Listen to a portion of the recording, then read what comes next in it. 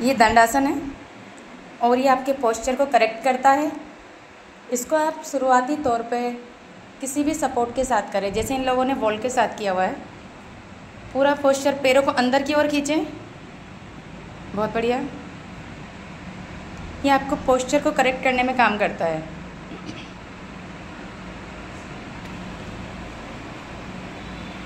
ये देखिए। अब आप अपने पैरों को अप एंड डाउन अंदर, बाहर।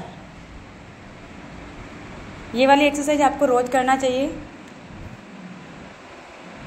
या आपके जो टखनों के अंदर, तलवे में जो प्रॉब्लम्स होती है, या ज़्यादा लोग जिनको चलना होता है, उनके लिए बहुत अच्छी होती है। बहुत बढ़िया। अब इसे राउंड राउंड कर लीजिए। बहुत अच्छा। इसको आप रोज़ाना थर्टी सेकेंड्स के पोज में लीजिए ठीक है? कमर में आपको एक अलाइनमेंट लग रहा होगा, बिल्कुल सीधी होगी। हमारा पोस्चर क्या होता है? ज़्यादातर हम झुक के बैठते हैं तो इससे बहुत बेनिफिट होगा आपको।